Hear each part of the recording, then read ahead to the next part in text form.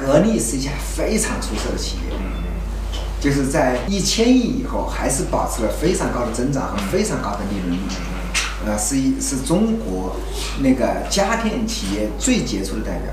这里面还有个小背景啊，呃，他们都是珠海企业，我们基站软件也是珠海企业，但是它要是跟互联网企业比增长率、比规模，它是必输无疑。所以呢，我当时就说，要不我们就赌一块钱得了，是吧？这个赌多了，到时候大家说当不当真，是吧？这个他他在现场直播的时候说一块钱说了不算。这个要赌就赌十亿人民币，反正我主要是怕大家不履约，开个玩笑啊。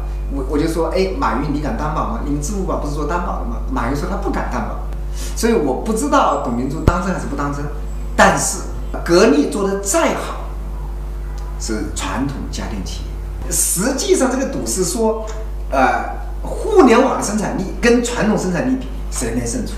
虽然互传统生产力搞了二十多年，互联网生产力搞了两三年，对吧？好像不可比，规模差四倍，但是在五年之内就会就会颠覆过来，是吧？你想，格力的一千亿是花了二十五年以上做出来的，小米的三百亿是两年干出来的，第一年可能是八倍，第二年四倍，第三年可能变成三倍，第四年变成两倍，第五年可能就超过了，或者第六年就超过了，这这个这个这个增长率差很远。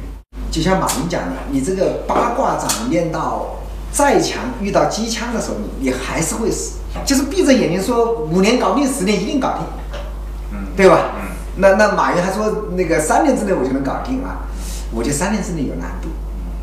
我觉得，所以我说了个五年啊，那个我觉得五年内我们搞定的概率是非常非常之高。他一定会赢，这不是我能就有多能干，它互联网就是这样的。互联网是一种先进的生产力。是吧？先进的击败落后的，落后的就是做到极致也是落后的。